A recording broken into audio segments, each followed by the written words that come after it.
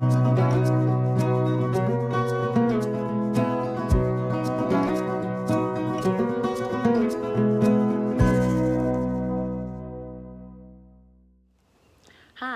Tina Hudson of Complete in Christ Ministries. Welcome to Thursday Talk with Tina, where we have been walking through the book of James.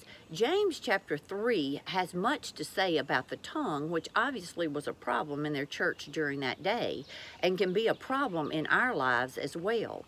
In verse 3 of chapter 3, James says, Indeed, we put bits in horses' mouths that they may obey us, and we turn their whole body. Look also at ships. Although they are so large and are driven by fierce winds, they are turned by a very small rudder wherever the pilot desires. Even so, the tongue is a little member and boasts great things. So James is going to give us six pictures of the tongue out of everyday life that these people would have been able to relate to as well as people of our day. First, he compares it to uh, the bit that we put in a horse's mouth. Now, when I was a little girl, my dad had Shetland ponies. And they had a small saddle like this, but they also had this bit that we put in their mouths. And with this bit, we were able to control that horse. I remember one time uh, when I was younger, my dad uh, put me on one of his Shetland ponies, and the pony's name was Shorty. He was a short little dude, but he was also a rough little dude. And so my dad had put the bits in Shorty's mouth, and he gave me these reins and told me to hold on and to keep his head pulled up. Well, Shorty took advantage of me, and as soon as he started to buck, I let go of the rein which and my dad was yelling pull his head up pull his head up. That would have stopped him. That would have controlled him as the bit became tighter in his mouth. But I would just want it off of Shorty as bad as Shorty wanted me off and so he ended up bucking me off which caused me to be very fearful of horses.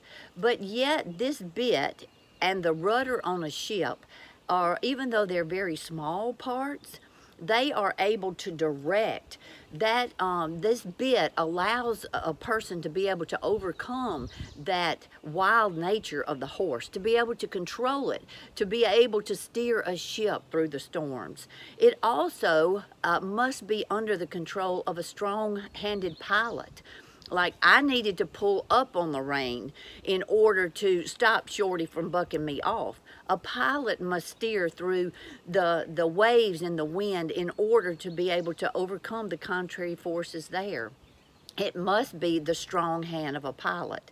And the same is true in our lives. Our tongues must be under the strong hand, the strong control of Jesus if we're going to be able to say things that are encouraging rather than hurtful, that bring honor and glory to God rather than to defame his name. So what are you doing with your tongue today? Is are you allowing God to control that small part of your body like the bit controls the horse, like the rudder controls the ship? Are we allowing God to control that so that we can use our tongues to bring honor and glory to Him and to encourage others? I pray that today we will be conscious through the enablement of His Holy Spirit to be able to control our tongues and to be able to just be an encourager for those who need a, a word from God today. Thank you and may God bless.